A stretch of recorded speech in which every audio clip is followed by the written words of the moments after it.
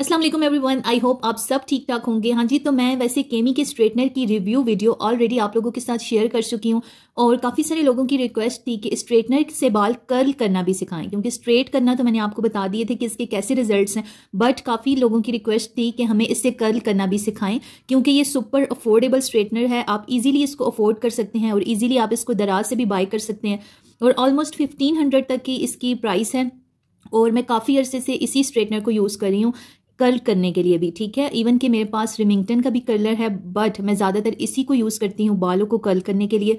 तो इसी स्ट्रेटनर से आज मैं आपको थ्री डिफरेंट वेज से बाल कर्ल करना सिखाऊँगी। बिल्कुल जी, तीन तरीकों से आपको बताऊँगी और जो तरीका आपको ज़्यादा बेस्ट लगे तो कमेंट्स में उसके बारे में ज़रूर बताइएगा। तीनों बहुत ही आसान तरीके हैं, उसके लिए आपने वीडियो को एंड तक गौर से देखना है, ताकि आपको ठीक से समझ आ जाए। और अगर वीडियो कंप्लीट देखेंगे तो ही आपको पता लगेगा, ये बहुत ही ईजी तरीका है स्ट्रेटनर से बालों को कर्ल करने का। अगर ये वाला स्ट्रेटनर नहीं है, कोई और स्ट्रेटनर भी आप यूज़ करते हैं तो भी इन्हीं स्टेप्स को आप फॉलो कर सकते हैं और बेहतरीन कर्ल्स मिलेंगे आपको। तीन तरीकों से हम बालों को कर्ल करेंगे सॉफ्ट कर्ल भी करेंगे, हम हार्ड कर्ल भी करेंगे और हम सॉफ्ट वेव भी बनाएँगे, ठीक है? तो सबसे पहले तरीके को फॉलो करते हैं और बनाते हैं सॉफ्ट कर्ल सॉफ्ट कर्ल बनाने के लिए बालों का छोटा सा पोर्शन लेंगे और स्ट्रेटनर के ऊपर से बालों को लाने के बाद बाल नीचे वाली प्लेट से निकाल देंगे, बिल्कुल, ठीक है ना? बाल नीचे वाली प्लेट से करके आपने निकाल देने हैं। नीचे वाली प्लेट से बाहर को बाल निकालने और बिल्कुल स्ट्रेटनर को आपने स्ट्रेट रखना है। टिल्ट नहीं करना, तिरछा नहीं करना। और बस साइड से प्रेस करते जाएँगे आप स्ट्रेटनर को। स्ट्रेटनर्स के एंड्स को हमेशा दबा के रखना है। ये जगह इतनी गर्म भी नहीं होती और दोनों फिंगर से इसको अच्छे तरीके से प्रेस करना है ताकि आपको अच्छे से कर्ल मिले। और स्ट्रेटनर को बिल्कुल सीधा रखते हुए आप नीचे लाते जाएँगे तो आप देखेंगे कि बहुत ही ज़बरदस्त और बाउंसी कर्ल मिलेगा। बेसिकली ये सॉफ्ट कर्ल है, ठीक है? और हाथों से आप इसको इजीली सेट भी कर लें, जिस तरह मैं कर रही हूँ, और आपको बेहतरीन से सॉफ्ट कर्ल्स मिल जाएँगे। और इसी तरीके को मैं दोबारा फॉलो करूँगी ताकि आप लोग अच्छे से सीख जाएँ। बालों का उसी तरह पोर्शन लेंगे, ऊपर से घुमा के बाल नीचे वाली प्लेट से बाहर की तरफ़ निकालेंगे और उसी तरह प्रेस करते जाएँगे साइड से स्ट्रेटनर को। और इसी तरह हमारे सॉफ्ट कर्ल्स बनते जाएँगे। और सॉफ्ट कर्ल्स अगर पसंद है आपको तो ये तरीका ज़रूर फॉलो कीजिएगा। बहुत ही बाउंसी से कर्ल्स मिलेंगे आपको और बहुत ही सॉफ्ट से, ठीक है? अब दूसरे तरीके को फॉलो करते हैं और बनाते हैं हार्ड कर्ल्स ठीक है? ये तरीका थोड़ा सा डिफरेंट है बट इसको आपने अच्छे से देखना है, ठीक है?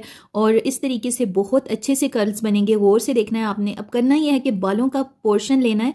इसी तरह ऊपर से लाना है बालों का पोर्शन ठीक है? अब नीचे वाली प्लेट से बाहर को नहीं निकालना, वो पहला तरीका था। अब आपने क्या करना है कि स्ट्रेटनर के ऊपर से बाल ला के अब ऊपर वाली ही प्लेट से आपने बाल गुजारने हैं, ठीक है, अंदर की तरफ़। और आप देखेंगे कि जब कर्ल्स बनेंगे तो वो ज़्यादा स्टेबल होंगे। पहले सॉफ्ट कर्ल्स बने थे, अब हार्ड कर्ल्स बनेंगे। और इनको हार्ड कर्ल्स ही बोलते हैं और ये थोड़े ज़्यादा मोटे वाले कर्ल्स बनेंगे, ठीक है? और उन पहले वालों से भी ज़्यादा स्टेबल कर्ल्स होंगे ये। ज़्यादा देर तक स्टेबल भी रहेंगे और अगेन मैं आपको दूसरे वाला तरीका दोबारा से बताऊँगी। दोबारा से आपने बालों का पोर्शन लेना है। ऊपर से लाएँगे बाल और ऊपर वाली ही प्लेट से घुमा के अंदर की तरफ़ कर लेंगे बाल, ठीक है? और बस प्रेस कर दें स्ट्रेटनर को और आपके हार्ड कर्ल्स इसी तरह से बनते जाएँगे। और हमने सॉफ्ट कर्ल्स भी बनाए, अब हमने हार्ड कर्ल्स बनाए दोनों ही बहुत ज़्यादा ज़बरदस्त बने, बहुत ज़्यादा बाउंसी बने। थोड़े थो, थोड़े मोटे से कर्ल्स आपको चाहिए तो आप ये तरीका फॉलो करें। थोड़ा सा ट्रिकी है बट एक दो दफ़ा ट्राई करेंगे तो आपको खुद ही समझ आ जाएगी। और इन बालों को स्टेबल रखने के लिए आप हेयर फिक्सिंग स्प्रे भी थोड़ा सा कर सकते हैं ठीक है? ताकि ज़्यादा देर तक बाल इसी तरह आपके स्टेबल रहें। अब चलते हैं थर्ड मेथड की तरफ़ और वो है उससे बनाते हैं सॉफ्ट वेव्स ठीक है? जो बहुत ही हल्के हल्के वेवी से बाल लगते हैं बहुत अच्छे लगते हैं वो ट्राई करते हैं सबसे पहले ठीक है? अच्छा पहला और तीसरा मेथड तकरीबन सेम सेम है। थोड़ा सा इसमें डिफरेंस आएगा, वो मैं आपको बताऊँगी कि क्या डिफरेंस है।